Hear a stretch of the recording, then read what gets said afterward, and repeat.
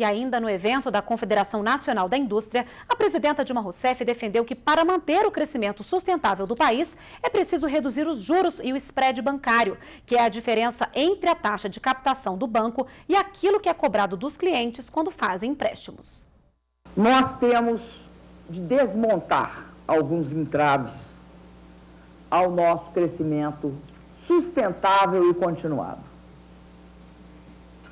Esses entraves podem ser, assim, resumidos muito simplificadamente.